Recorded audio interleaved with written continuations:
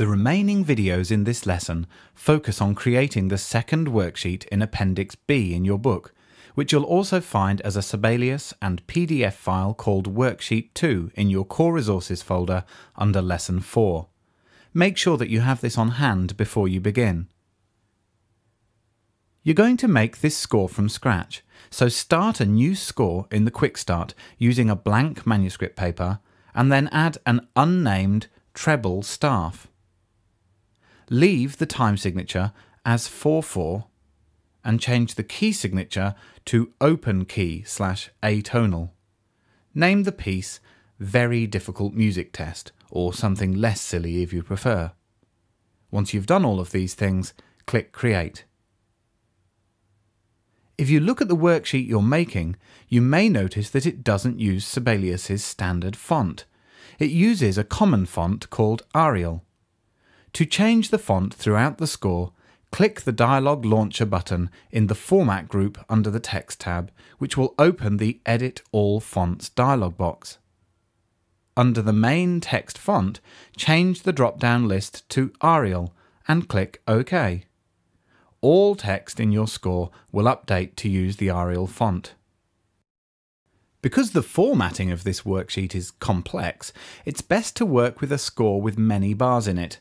To add 100 bars to the score all at once, go to Home, Bars, Add, and click the Add Multiple or Irregular Bars button and type 100 into the Create Bars dialog box. Then click OK and click on your score if you had no selection to add the bars. Now that you have lots of systems, you can see that there are bar numbers in the score. In a worksheet, you don't need bar numbers, so turn these off by going to Text and then numbering, and then choosing No bar numbers.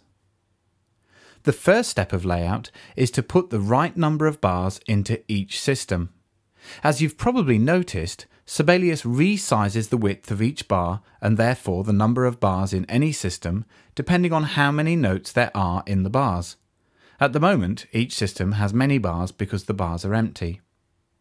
In this case, we have four separate bars on the first system for the first question in the worksheet. Click on the bar line at the end of the fourth bar, and then press Enter or Return. A system break is added, which forces that bar line to jump to the end of the system. If you chose the wrong bar line, just press Enter or Return again to toggle the system break off. The second system requires only one bar, the third system two bars, and the fourth seven bars. So set up the layout for each system now as shown. To make sure the staff is big enough to write into with pencil, you can also make it a bit bigger. Choose Layout, Document Setup, and then Staff Size, and make it 8 millimeters. If you're making worksheets for very young children, you might want to consider 9, 10 or even 11 millimeters. For now, we'll just put the notes into the score, and then we'll come back and add the text and graphics later. Before you put the notes in for the first question, you'll need to change the clef in the third bar.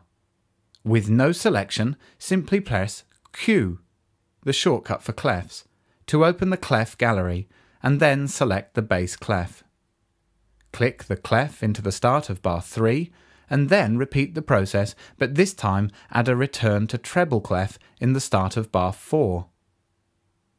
Next, put in the four pitches as whole notes or semibreves using your preferred note entry method.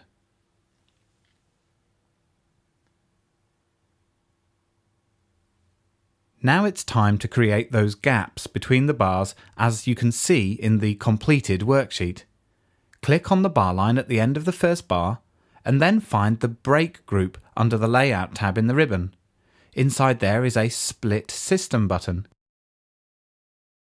You can quickly and easily repeat this process to create the next two gaps. As you create the gaps, you may notice cautionary clefs appearing at the end of bars before the clef changes, these are just like the cautionary time signatures and key signatures that you learned to hide in the last section of this lesson. simply click those and press the shortcut to hide or show, which is Control and Shift and H or Command and Shift and H on a Mac. The last step with the notation in this question is to center the notes. Sibelius has written them musically correctly at the left hand side of the bar where the first beat comes, but these kind of questions are usually centered. Make a passage selection of all four bars by double clicking in any one of them, and then open the inspector from the Home tab of the ribbon. You may like to stick the inspector on by clicking the pushpin button, since you'll use it a fair bit in this lesson. In the X field, under General, type 2 to offset the X position of all of the notes by two spaces. The notes should now appear centered in the bars. Next comes question 2. This one is easy, since it's just an empty bit of manuscript for the student to write a melody in. First, insert a time signature by pressing T and clicking More Options. As well as choosing 4-4, you'll need to make sure that Allow Cautionary isn't checked as before, and then click OK and click the new time signature in. Add the A quarter note or crotchet at the start of the bar, and then hide the rests in the remainder of the bar, you know how to hide objects now. Last but not least, you can add the double bar line at the end of the bar by selecting the existing bar line and then going to Notations, the Common Group, Bar Line, and choosing Double. The third question is a lot more of a challenge for you to set up because the two bars are indented from both the left and the right, Plus, there's another staff to add to make a grand staff. To add in the extra staff, select the two bars and then press I, the shortcut for the Add or Remove Instruments dialog box.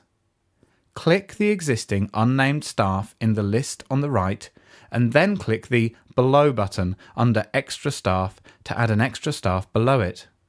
Click OK and you'll see that the extra staff has been added to just those two bars. That's because you selected them first the system requires a brace. Press Escape twice to make sure you have no selection, and then click on the Notations tab and find the Brace button in the bracket or brace group. Click right at the start of the new system to add the brace. Then, press Q to open the clefs gallery again and add the bass clef to the right hand of the piano staff. To finish it off, you need to connect the bar lines between the right and left hands simply click on the bottom of the bar line in the right hand and drag it down. Easy. When you input the music into these bars, you'll need to revise how to put in two voices into the second bar of the right hand, just as you learned to do in Lesson 3 with drum notation.